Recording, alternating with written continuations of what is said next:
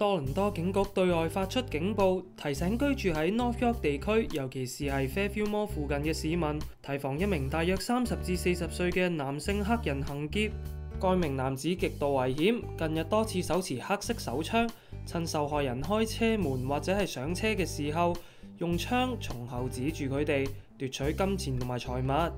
歹徒身形標準偏瘦，身高介乎五尺六至到五尺十，犯案時候身穿深色衣服。警方呼籲市民攞車或者係上車嘅時候，留意身邊有冇俾人跟蹤。